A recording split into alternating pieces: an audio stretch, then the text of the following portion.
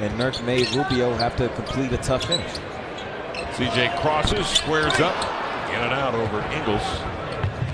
Ingles runs out.